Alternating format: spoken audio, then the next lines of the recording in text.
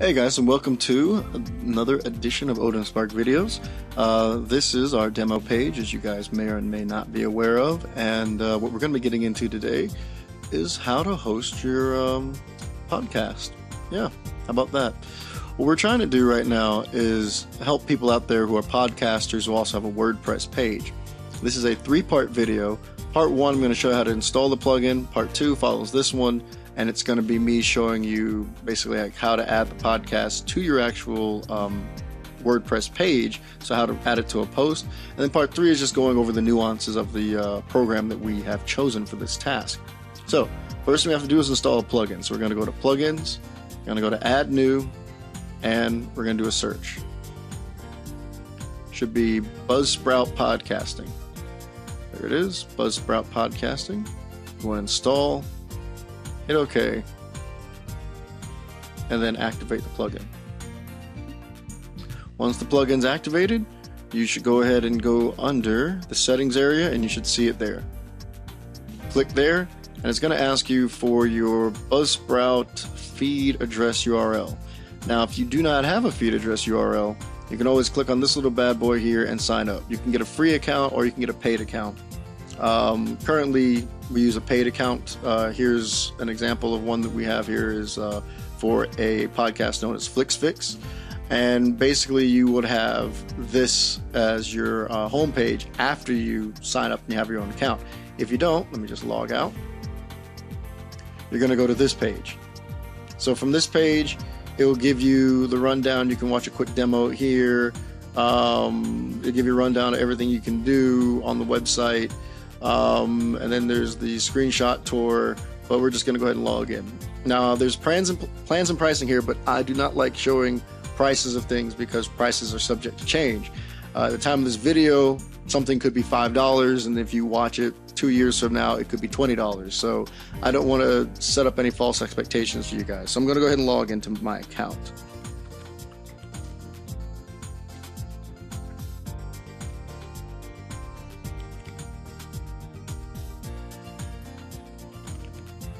I can actually type. Here we go. Close that. All right. So from here, you're logged in now, so be on your best behavior. Uh, this is the actual website. Now, when you have an account, you'll get these episodes here, and these are the current episodes during your billing cycle. And all these are episodes. It tells you the duration, it tells you the name of the artist, and also the date in which it was posted. And below is your episode history.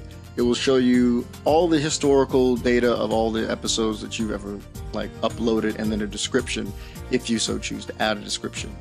Um, it's fairly cut and dry, and it's pretty easy to use. So let's go ahead and go to update your podcast info.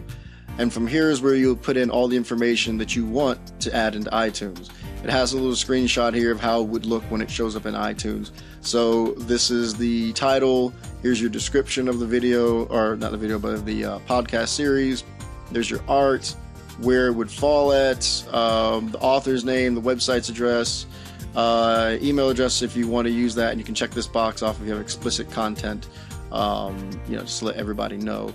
And then here's your little icon here to uh, import your existing episodes if you're moving from a previous service to their service.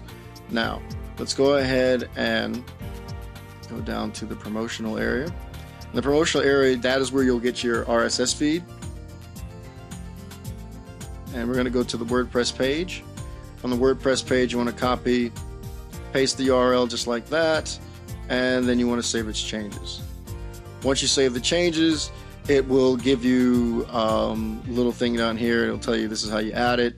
Uh, if you want to include the Flash player, just click yes, save the changes again. Um, the number of episodes it will return is five. So let's go to a new post. All posts. And I just have the hello world here. I'm just going to go tinker with that. Why not? And then from there, you're going to click on this button here. Click on the Buzzsprout podcasting. And then from there, it should show you the last five episodes that you uploaded. Um, that's pretty much it, guys. There's not much configurations done with this actual plugin. It's, like I said, very cut and dry. You just give it the Buzzsprout URL in that one area that I showed you, save it, and then go into this area here and here to choose the episode. In section two of this particular series, you'll see how to upload an episode to the Buzzsprout uh, website and how to add it to your post.